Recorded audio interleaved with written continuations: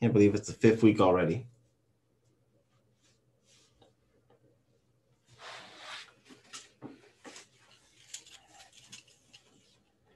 And we're gonna lose an hour of sleep soon in a couple weeks. I'm so upset.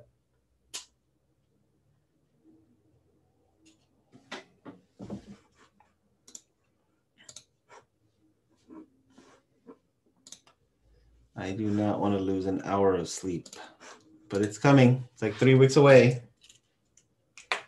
It's to move our clocks forward an hour. Boo. Boo.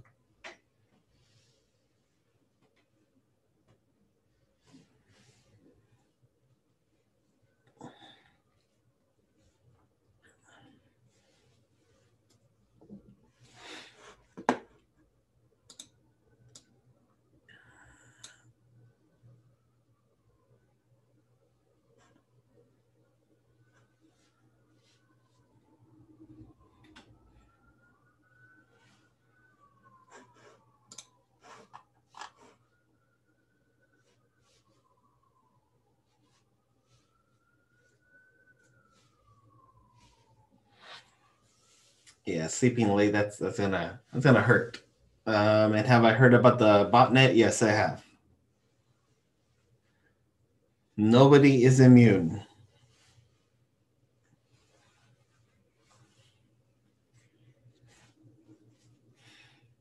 It was just a matter of time for the new, uh, for the new M1s to get hit with a botnet.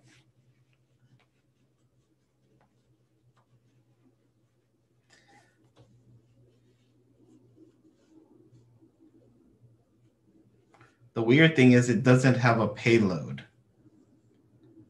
So either the writers uh, put it out into the world too early, or they're just bad coders and didn't do a good job in it, and it just went out into the wild. Uh, because I kind of doubt that that was on, done on purpose. That it they put a botnet out. It has 30,000 Macs and no payload. It's just a little weird.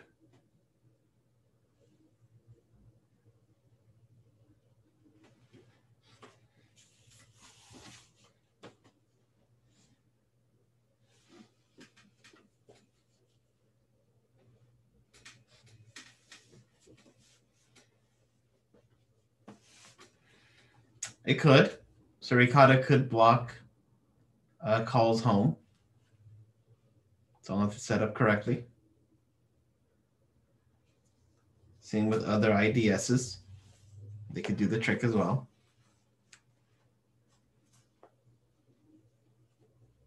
Ah, it is 11. As usual, this won't be a long lecture. So this won't take too long. In the right folder. Awesome. Module five, as we pass the first quarter of the class, moving on to the second. Um, spring break is three weeks away. uh, this chapter is a lot about undercover stuff. Uh, for example, uh, working undercover. This is the process used to acquire information without the individual or the suspect knowing the true identity of the investigator. This can be done with things like background checks, uh, building a profile through reconnaissance methods online, through surveillance, uh, monitoring a suspect's residence, movements, daily routine, chat rooms, user groups, all that kind of stuff to build a behavioral profile, and sting operations, uh, designed to catch the criminal in the act of committing or planning to commit a crime. It is not difficult for a detective to create what's called a sock puppet or an undercover identity to perform recon on a suspect or use in a sting operation. There are tons of things where you can create your own fake name. You can you can use the this person does not exist to create a profile picture and you know you can use email, text. Uh, you could do uh, financial VPNs. You can do all kinds of stuff to mask your identity, to mask uh, who you truly are as a, as an investigator when you are working undercover. Uh, law enforcement also uses uh, what's called LEAP, or the Local Number Portability Enhanced Analytical Program, to track criminals who try to evade investigation by switching phone carriers. Uh, like it uses tools like uh, reverse lookups. Of course, uh, as long as they have the, the rights, they can also do wiretaps. Uh, the dark web, which is always deemed as something super scary and, and unknown, it's not really, it's just unindexed. Um, the, the World Wide Web, or the clear web in this case, is easy to use with traditional browsers because most things are indexed. You know, you can use any any search engine to go after and find information. It's, it's easy to access. It's uh, it's not hiding behind another protocol. It's a piece of cake. The unindexed part of the web is what's called the dark web because it's encrypted while using the public internet. But in it, in and of itself, it's not scary or threatening or or mysterious like people like to to frame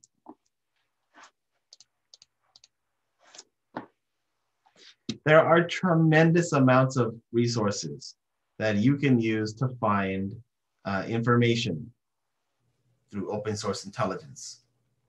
The OSINT framework is a site that gives you a chart like this, where you can really dig down to find what, what tool you can use to find what you're looking for.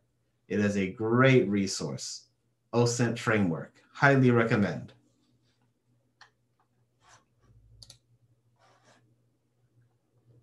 Uh, of course, there is the Onion router, TOR, Tor, the free open source and open network that allows users to surf anonymously.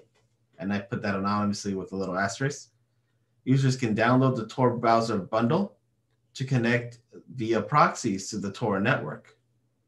Uh, websites that aren't no normally accessible through the clear web, like dark web sites, can be accessed this way. Um, it is somewhat problematic for investigators because identities are somewhat obfuscated and the site's locations are typically unknown. Yes, it is known to conduct criminal activities and breeding ground for malware, uh, but let me just be clear that people use Pastebin, which is a ClearNet site, to put up all kinds of information, malware, and so on. So it, it is not just the dark web. That's the only place where people put up malicious stuff or do malicious things. It happens over the clear web all the time. Uh, Tails is uh, otherwise known as the Amnesic Incognito Live System. It provides anonymity for the user since it boots from USB and it doesn't leave any records left on things like RAM in on the hard drive doesn't doesn't leave any footprint of its use and does connect to tor uh, right away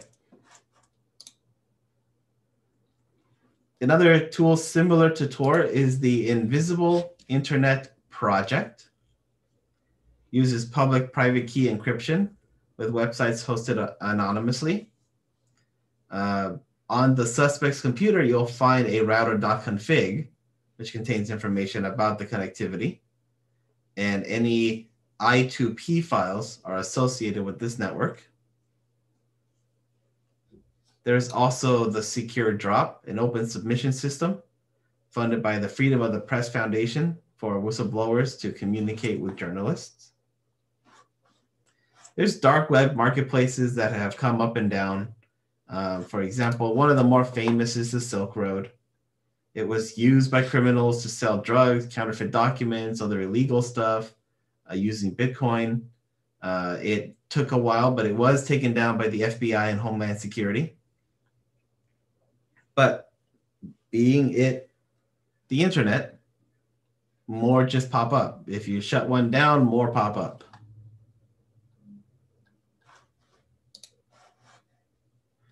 Operation Bayonet was used to shut down two marketplaces, Alphabay and Hansa.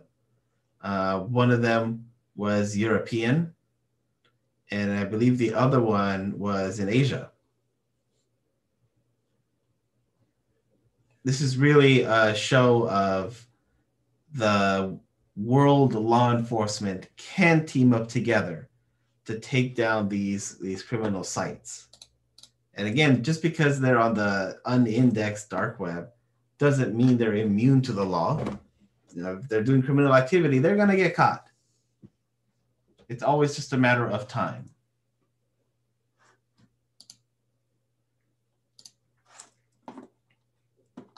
Uh, big uh, virtual currencies. Normally, we work with fiat currency, which is legal tender backed by a government or governments like the US dollar or the euro. Uh, virtual currencies are non-state sponsored currencies that are sent from one device to another. And it's only transferred once. An algorithm is solved by a middleman or a miner. A public ledger of transactions assures the integrity of the transactions. Not all virtual currencies are cryptocurrencies, like a Second Life, which uses Linden dollars. Virtual currencies carry tax consequences in different jurisdictions, such as the US, where the IRS uh, will consider a Bitcoin miner as a money service business. Bitcoin is a cryptocurrency, decentralized peer-to-peer virtual currency.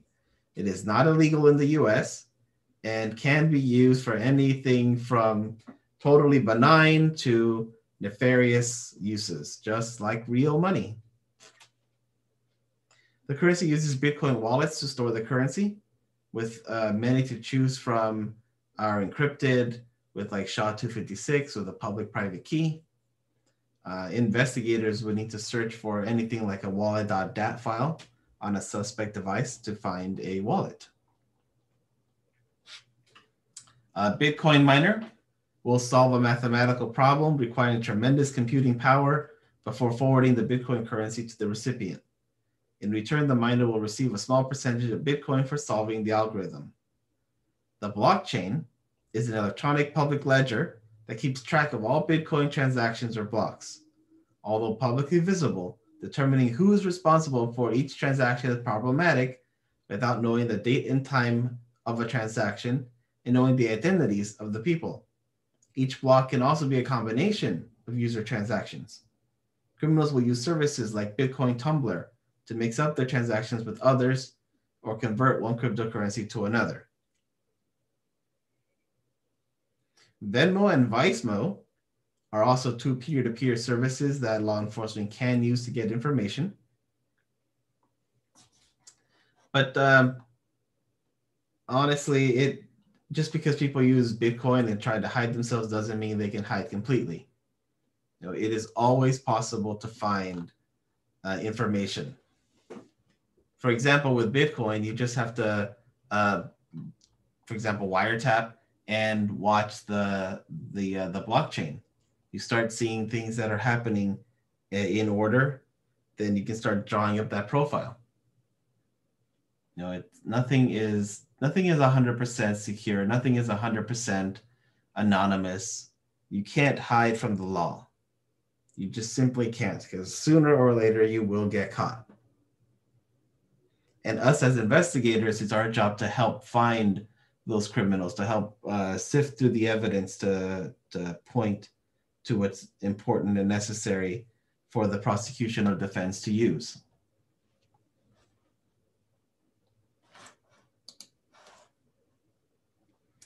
Online reconnaissance can vary greatly depending on the needs of the investigator.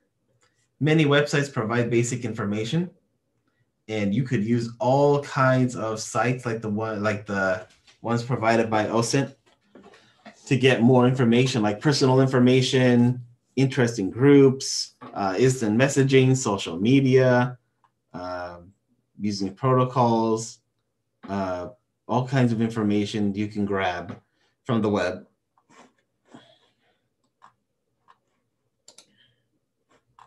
Uh, the Wayback Machine can also be a great source for getting information because you can look at historical snapshots of a site. So if a criminal was using a site and it was backed up by the Wayback Machine, you can use that.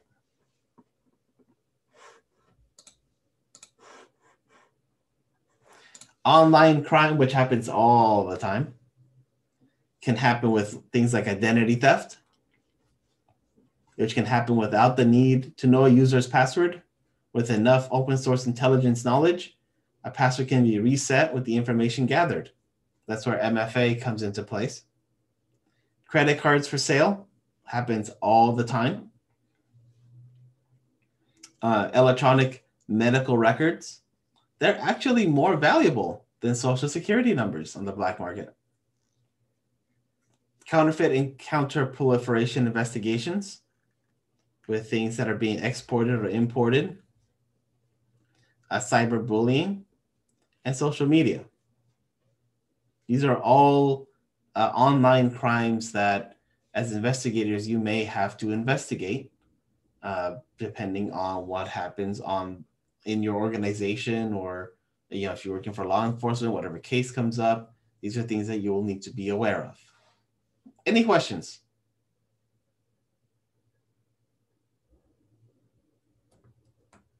What do people do with medical records?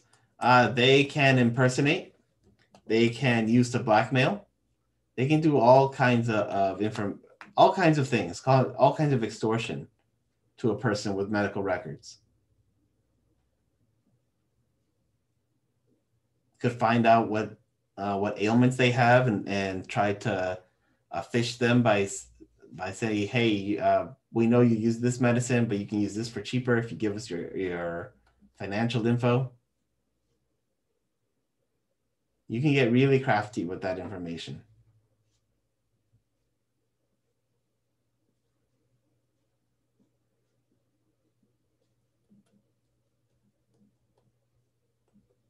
Any other questions?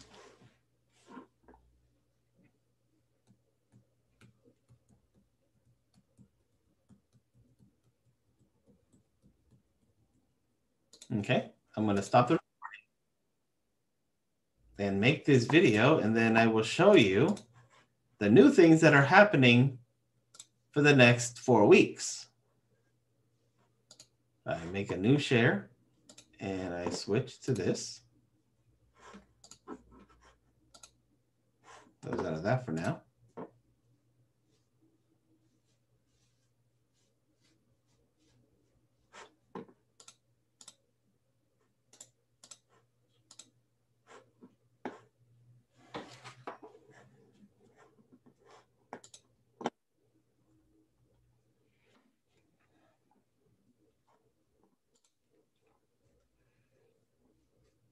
Eighty percent done.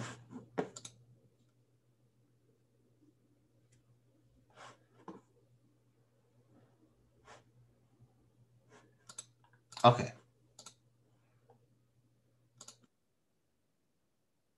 All right, so things are changing. At this point, you should have already completed the autopsy training. And now you will begin working on cases. So for the next four weeks, starting with this week, I have a case every week for you to do. This will be the first case that you'll do. This is getting you in, getting you on the road to getting ready for the small and large cases that you'll be doing in the second half of the semester. So this case one is a graded quiz. So you don't have to submit anything like a, like a report. You just have to answer questions in the, um, in the quiz. I have already put the questions here. So what you need to do is you'll need to go to the Google Drive where you had the videos for autopsy. And you'll see case one, case two, case three, case four. Ignore these. I'm going to be adding more cases soon. So for now, you're just going to go into case one And there's the zip file you need, a small one at that. Feel free to use any of the tools that you have at your disposal. Remember in module one, we set up uh, Scotty and SANS SIFT and whatnot. And you also went through autopsy training. So use all those tools and any other online tools to help you answer these questions. This, this is your first run as an investigator. As always, I do not expect anyone to work completely on their own unless you absolutely want to. It is optional for you to work on your own. Uh, you can always work with others, and I I encourage you to work with others, uh, specifically because as you go through the next couple of cases, things are going to get harder. There's going to be more to search. And honestly, one person by themselves could probably not be able to do all the cases. This first case you could probably do on your own. But as as we go into cases three and four and then the others, um, I think it, it would be beneficial to everyone to work together, which I know is such a reverse from a normal class where you're supposed to be able to do it on your own and whatnot. But um, investigators work in groups. So I don't see a logical reason to force you to work on your own. So check out the little story. I gave you the, the MD5s in case, uh, in case of any corruption. And I also gave you some questions for you to tackle. So my honest suggestion is have the answers to these before you take the quiz. So go through the evidence, get answer the questions to the best of your ability, provide the answers ready, then go ahead and take the quiz and put your answers in uh, to these questions. You'll have 15 minutes to submit. Questions about the assignment this week or your, your case, your first case.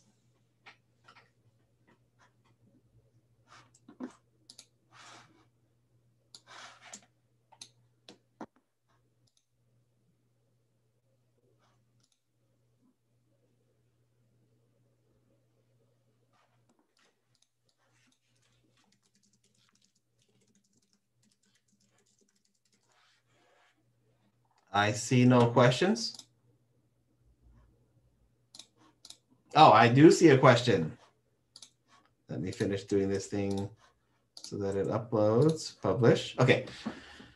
Will it work to split up the work by making a group and having each person answer three other questions and sharing answers? I don't care how you do that. I'm not going to micromanage you. You can split it up. You can divide in half, divide however you want. Uh, there are quite the number of people in this course, so you should be able to ping each other on Discord and iron that out.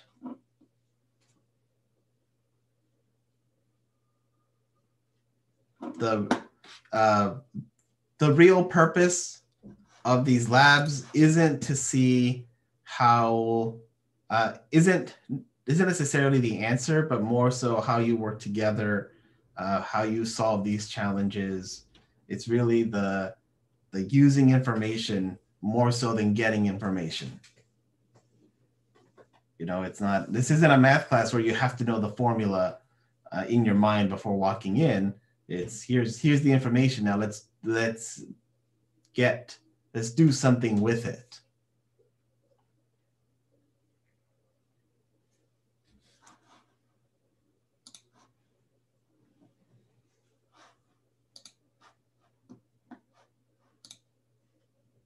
Other questions?